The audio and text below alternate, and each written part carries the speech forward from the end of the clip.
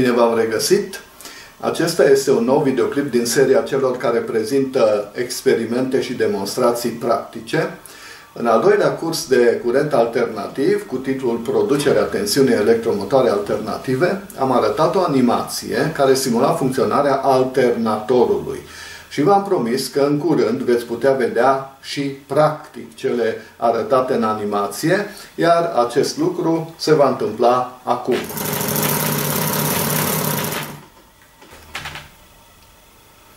De data asta, experimentul este demonstrativ, deci nu voi prezenta o fișă de lucru, nefiind vorba despre o lucrare de laborator.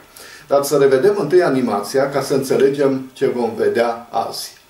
Rotirea unui circuit într-un câmp magnetic uniform are de consecință obținerea unui flux magnetic variabil prin circuit, așa cum arată acest grafic, deoarece fluxul depinde și de unghiul dintre normala la suprafața circuitului și liniile de câmp, după formula pe care o cunoașteți din cursul teoretic, fi egal cu B ori S ori cosinus de alfa, B fiind inducția magnetică a câmpului în care se rotește circuitul, S fiind suprafața, aria suprafeței închisă de circuit, iar alfa, unghiul alfa, este variabil în timp după legea alfa egal cu omega t, omega fiind viteza unghiulară, viteza unghiulară cu care se rotește circuitul.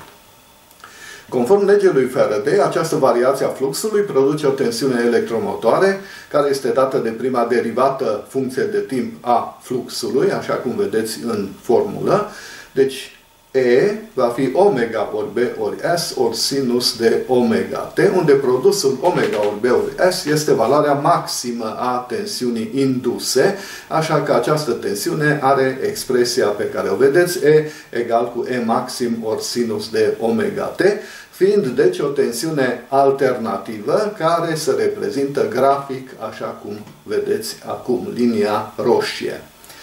Dacă circuitul este închis și nu conține decât elemente rezistive, deci nu conține bobine și condensatoare, atunci această tensiune alternativă produce un curent alternativ care are expresia I egal cu I maxim ori sinus de omega T, iar valoarea maximă a acestui curent, I maxim, se poate calcula cu legea lui Ohm. I maxim egal cu E maxim supra R R fiind rezistența totală a circuitului. Acest curent alternativ este deci în fază cu tensiunea alternativă indusă, așa cum vedeți în grafic, este linia verde. Valoarea lui maximă depinde deci de valoarea maximă a tensiunii induse, dar și de rezistența circuitului. Animația ne arată principiul de funcționare și schema de principiu pentru un generator de energie electrică, un dispozitiv care folosește energia mecanică, mai precis energia cinetică de rotație, pentru a obține energie electrică. Deci energia care se transformă în energie electrică într-un generator este energie mecanică și nu, așa cum crede multă lume, energie magnetică. Generatoarele pot fi alternatoare sau dinamuri în funcție de modul de colectare a tensiunii induse. Să vedem modul în care putem colecta tensiunea indusă. Partea care se rotește se numește rotor și pe ea avem înfășurate spirele care formează circuitul în care se induce tensiunea produsă prin fenomenul de inducție electromagnetică. Fiecare capăt al circuitului din rotor poate fi conectat, așa cum vedeți în acest desen, la un inel și fiecare inel este în contact cu o așa numită perie colectoare din grafit sau carbon dur, depinde de mulți factori, cum ar fi puterea generatorului, frecvența și așa mai departe. Iar circuitul exterior este conectat la aceste perii.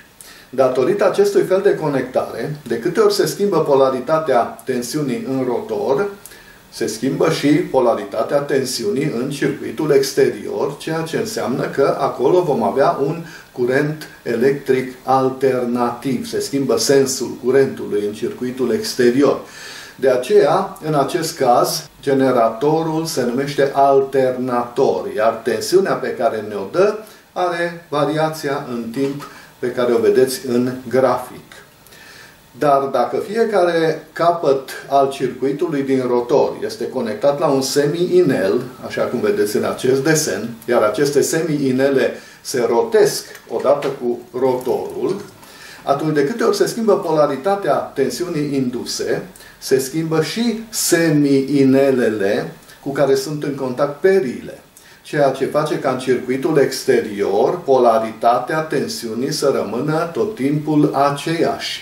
Și deci vom avea un curent care va circula tot timpul în același sens prin circuitul exterior și în acest caz generatorul se numește dinam. Dar atenție, tensiunea dată de dinam, deși nu este alternativă, nu este asemenea tensiunii date de o baterie sau un acumulator. Aceasta din urmă are nu numai aceeași polaritate tot timpul, dar are și aceeași valoare tot timpul. Este o tensiune constantă, așa cum arată acest grafic și așa cum puteți vedea cu ajutorul galvanometrului. Această tensiune are tot timpul aceeași valoare. Nu variază în timp. Pe când sistemul de colectare al dinamului face, e adevărat, ca tensiunea să aibă tot timpul aceeași polaritate, dar tensiunea rămâne variabilă, pentru că se obține prin fenomenul de inducție electromagnetică prezent într-un circuit care se rotește într-un câmp magnetic. Adică ceea ce se întâmplă este că dacă numim alternanțele tensiunii pozitivă, respectiv negativă, așa cum vedeți în desen, alternanța negativă devine pozitivă. Adică pe grafic trece în partea opusă, așa cum vedeți în al doilea grafic. Dar tensiunea este și acum variabilă. După cum vedeți, crește, scade, crește, scade și veți observa imediat și experimental acest fenomen. Deci, indiferent dacă avem un alternator sau un dinam, valoarea tensiunii induse este variabilă în timp. Doar că în cazul dinamului, polaritatea ei rămâne aceeași, în timp ce în cazul alternatorului, polaritatea se schimbă în timp și produce în circuitul exterior un curent alternativ. Și acum să vedem practic generarea tensiunii induse prin inducție electromagnetică.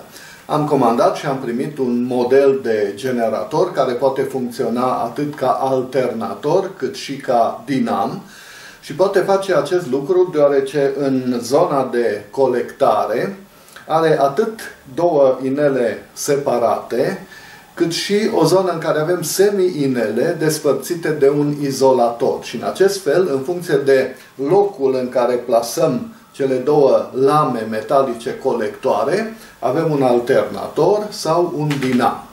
Puteți vedea magnetul care produce câmpul magnetic în care se va roti circuitul, iar diferența față de circuitul din animație este aceea că în animație aveam o singură spiră, pe când aici avem mai multe, după cum puteți vedea.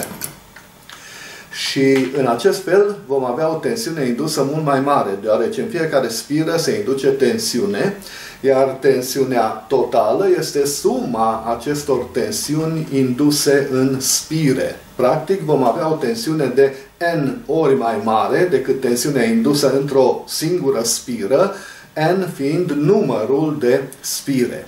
Și în acest fel, în loc să avem doar câteva sutimi de volt, vom avea câțiva volți, o tensiune suficientă pentru a aprinde acest bec.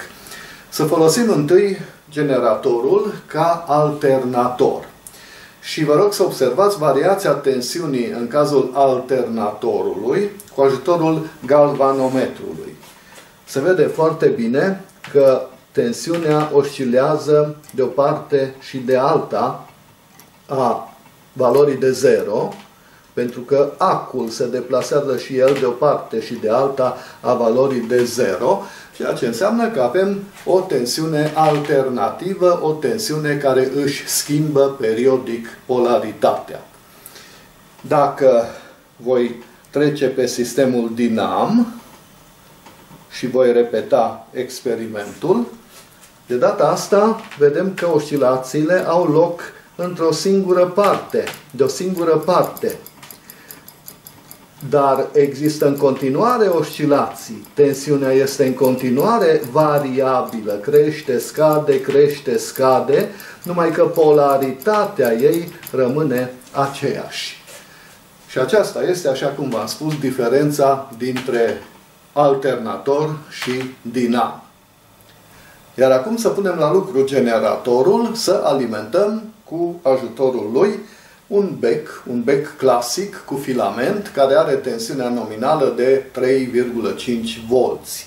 Întâi am plasat lamelele colectoare în așa fel încât vom avea un alternator. Generatorul lucrează în regim de alternator, ceea ce înseamnă că aplicăm o tensiune alternativă pe becul nostru. Să vedem.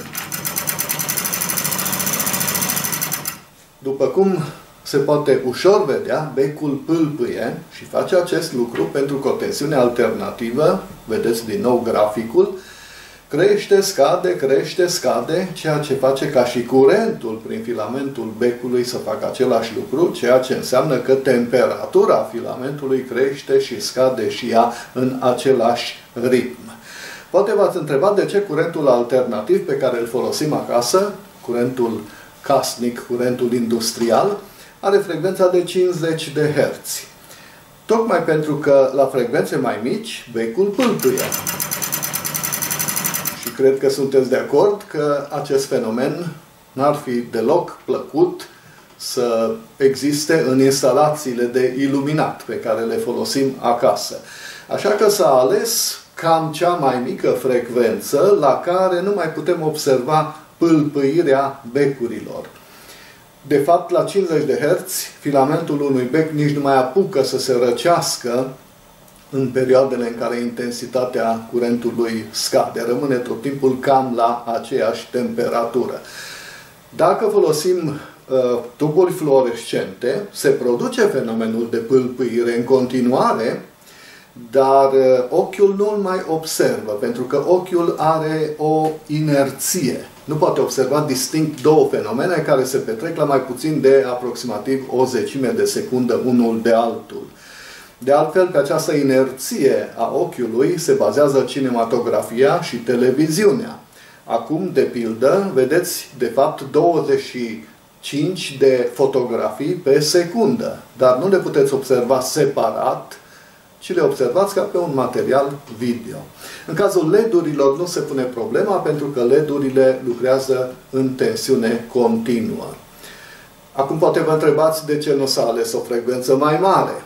Dar la această întrebare nu pot să răspund decât după ce vom discuta despre circuitele oscilante și undele electromagnetice.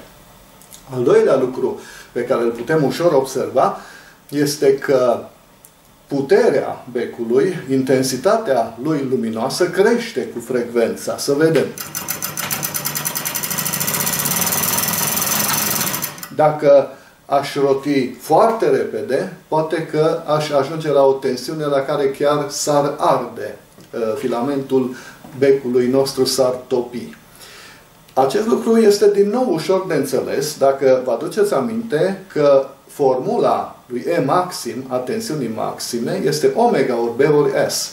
Deci tensiunea maximă nu depinde doar de inducția magnetică și de suprafața închisă de circuit, ci și de frecvență. Pentru că omega, pulsația, este 2 pi nu.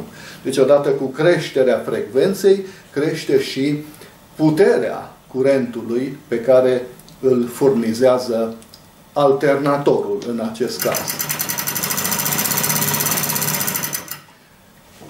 Iar acum să alimentăm becul în cazul în care avem un dinam. Voi schimba poziția lamelelor în așa fel încât colectarea să se facă acum în regim de dinam. Să vedem ce se întâmplă acum.